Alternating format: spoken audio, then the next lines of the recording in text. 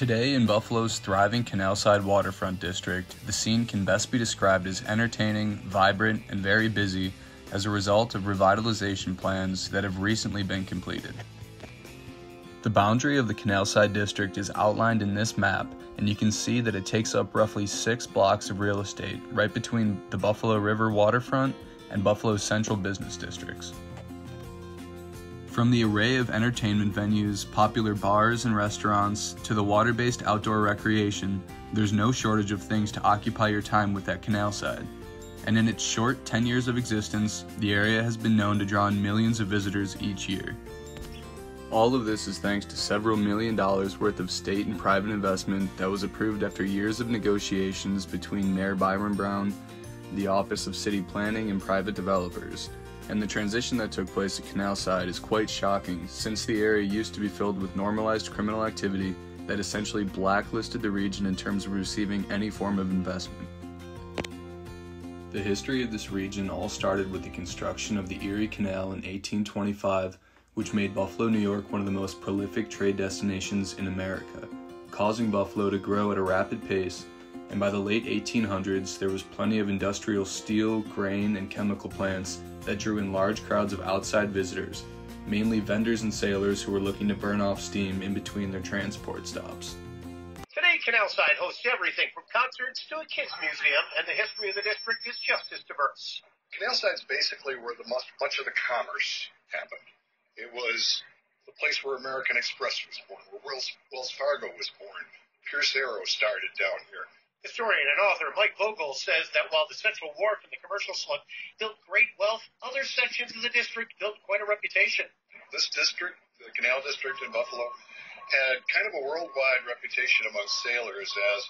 among the toughest, roughest waterfronts in the world. In fact, the spot where Marine Drive is today is where the Erie Canal came into downtown. It was a neighborhood where rough and tumble workers from the canal boats would come face to face with their counterparts from the lake ships, and they would, let's say, recreate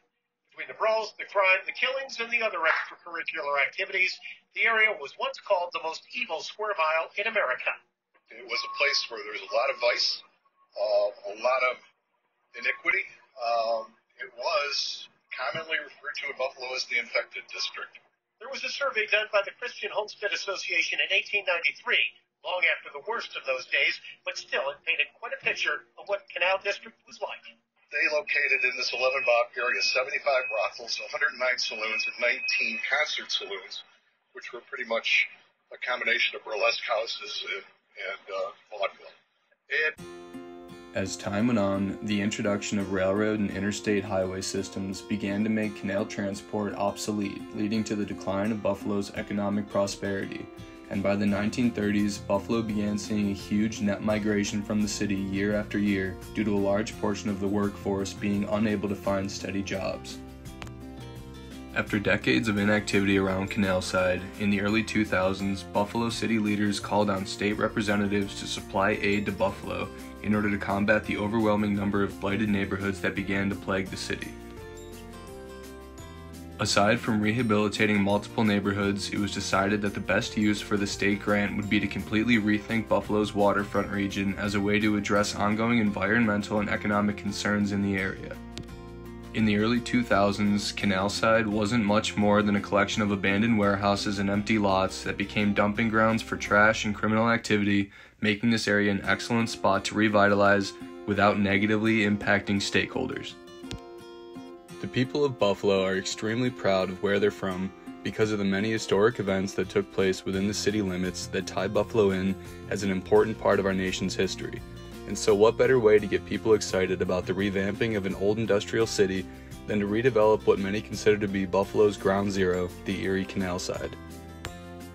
The Erie Canal Harbor Development Company was hired by the city planning department to handle most of the $300 million redevelopment project and their main goal was to emphasize Buffalo's past through repurposing existing structures that have characterized Buffalo's waterfront for over a century. Ground broke in 2009 with the demolition of Memorial Auditorium, which was an important local landmark for almost 70 years, and its destruction served as a statement by local officials about the importance of this revitalization project.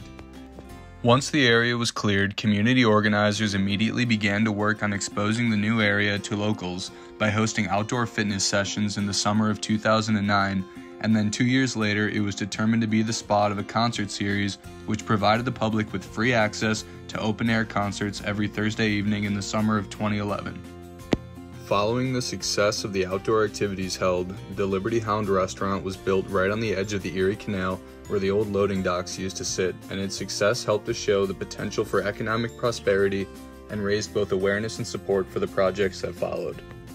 In November 2013, the long vacant Donovan State Office building was redeveloped and transformed into one canal side, which was instrumental in bringing more foot traffic to the area through its mixed use office space, hotel, and restaurant developments that lay within. Once business investment began to pour into the area, connectivity was the next objective to complete. Redevelopment of the Ohio Street Corridor, which connects the dense downtown region of Buffalo to Canalside and the waterfront, took place and was completed in fall 2014, making the waterfront much more accessible. In the fall of 2014, a privately funded project called the Harbor Center was constructed to meet the demand for tourist lodging for people visiting Buffalo's canal side attractions. The building itself takes up two square blocks and houses 716 Bar and Grill, two NHL sized ice rinks, fitness centers, a three story parking garage, and a full size Marriott hotel, and its influence transformed the area to be more of a tourist destination than just a spot for locals to spend their free time.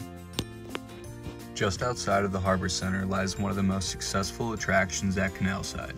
This outdoor recreation center is home to New York State's largest outdoor ice rink in the winter and hosts plenty of water related activities in the summertime.